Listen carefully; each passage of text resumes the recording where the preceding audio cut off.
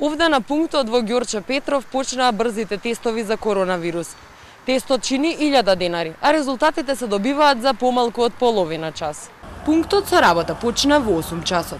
Луѓе во закажен термин чекаа да бидат тестирани и да им биде соопштено каков е резултатот. Прво се зема брис од носи од грло. Потоа се става во епрувета во која има течност. Се капнува на плочка и веднаш се добива резултатот.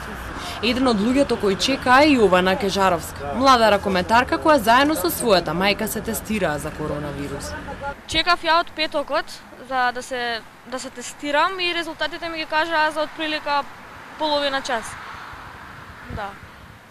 И тестот ми е секако негативен. Биле ли во некој со некој во контакт по по како А,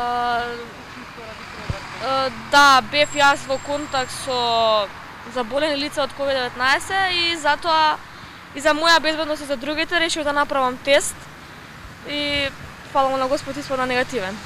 Ако е позитивен резултатот, во текот на денот заразениот ќе биде известен од Институтот за јавно здравје. Ќе му биде направена епидемиолошка анкета и ќе добие решение за изолација. Покрај овие тестови, во пунктот во поликлиниката Ѓорче Петров, нови 3000 тестови кои ќе бидат бесплатни за граѓаните стасаа во Министерството за здравство.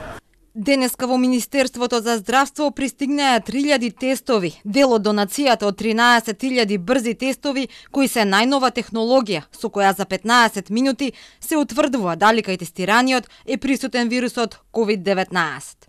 Заедно со уште 10.000 кои се очекуваат да пристигнат, ќе бидат распоредени во 13 болници низ Македонија, на детската клиника Козле, инфективна и на Институтот за белодробни заболувања.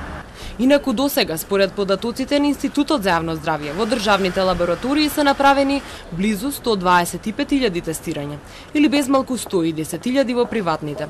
Сепак повеќе позитивни резултати добиле луѓето кои се тестирале државно.